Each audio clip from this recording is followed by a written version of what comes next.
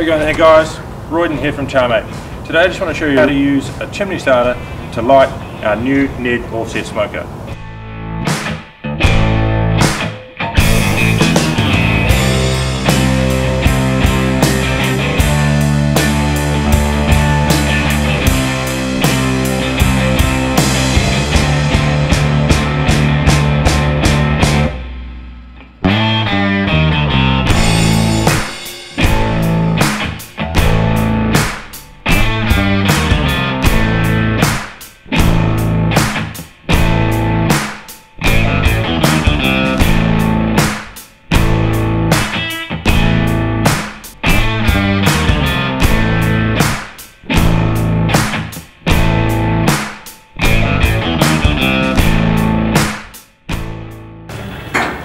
Right guys, so now like 10-15 minutes have gone past, you know, my coals have got a nice white ash on them which tells me that they're ready to go.